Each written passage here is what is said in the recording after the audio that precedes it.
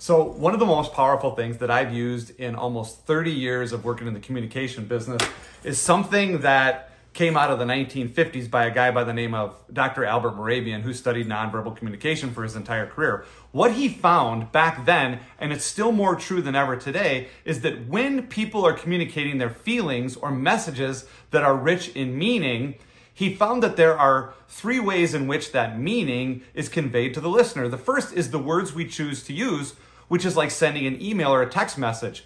The, the funny thing is, is as much as we use that type of communication, it only represents 7% of the intended message. If we pick up the phone and add the sound of our voice, we add an additional 38% to what the listener actually receives. 7% with the words, 38% of the tone of our voice is only 45% of the intended message, which is less than half. More than half of what people hear is based on what they see our nonverbal or body language, which is 55% of our intended communication. So if you're finding it tough to connect with people at work, if you're finding it tough to connect with people at home or in your personal life, stop doing things over text or email and get face to face.